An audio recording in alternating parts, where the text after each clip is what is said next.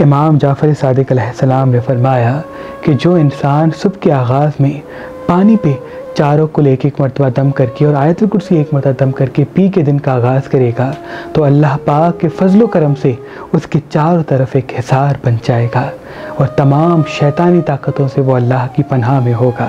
जहाँ जहाँ कदम बढ़ाएगा, रुकावटें, बंदिशें अपने आप से दूर पाएगा। अल्लाह आपकी तमाम दुआएँ अपने दरबार में कबूल मकबूल फरमाएँ। ये बहुत ही आसान सा अमल है। नज़र हसद जादू, तावीज़ को ख़त्म करने का मुझे उम्मीद है। रोज़ इसको आप अपनी ज़िंदगी में शामिल करें और बड़ी से बड़ी मुश्किल आप हल पाएँगे हल पाएँगे।